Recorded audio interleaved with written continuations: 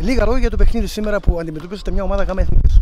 Ε, πρώτα απ' όλα θέλω να ευχαριστήσω τους παράγοντες της Αλεξανδρούπολης FC που με εμπιστεύτηκαν φέτος για την σεζόν. Ε, πρώτο παιχνίδι της σεζόν, ε, με δύσκολο αντίπαλο, άλλη κατηγορία, διαφορετικό τέμπο.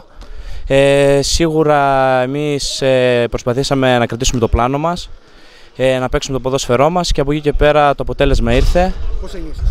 Ε, η αλήθεια είναι ότι χάρηκα πολύ γιατί είναι ένας σεσμό το κύπελο Ελλάδος που καθένας ποδοσφαιριστής στην ηλικία μου και γενικά εδώ στα τοπικά του Εύρου θέλει να αγωνιστεί και η αλήθεια ήταν ότι η χαρά ήταν μεγάλη.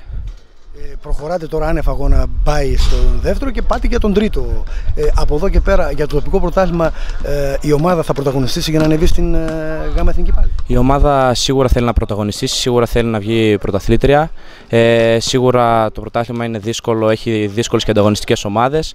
Αλλά από εκεί και πέρα, εμείς θα κάνουμε το κομμάτι μας, θα είμαστε όπως πρέπει να είμαστε σε κάθε παιχνίδι και θα κερδίσουμε κάθε αντίπαλο. Ε, το, ε, το κλίμα στην ε, ομάδα πώς είναι; Ε, το κλίμα είναι πολύ καλό. Ειδικά εμείς οι καινούργοι παίκτες που είμαστε και μικροί, μας έχουν βοηθήσει, βοηθήσει πολύ να ενταχθούμε στην ομάδα.